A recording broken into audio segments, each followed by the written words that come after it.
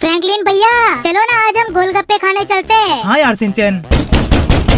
अरे यार ये और इस वक्त दरवाजे पे कौन है? सिंचन जरा देख के आना कौन है? हाँ फ्रैंकलिन भैया अभी देखता हूँ। यार पता नहीं कौन होगा। ओ भाई साहब ये तो वैनम का बड़ा भाई राका है। अब ओए टिंगू किधर है वो फ्रैंकलिन का बच्चा? वो वो फ्रैंकलिन भैया फ्रैंकलिन भैया वैनम का आया है। क्या बात कर रहा है सिंचन? अबे ओए फ्रैंकलिन तू इस घर को छोड़कर यहाँ से भाग जा क्योंकि ये घर मुझे पसंद आ गया है। अब वे राका ये घर हमारा है। तुझे पसंद आने से क्या होगा? क्या रे साले तू राका से बदतमीजी कर रहा है? ये ले और छोटे से छोले भटूरे तू भी ले। अरे मम्मी रे।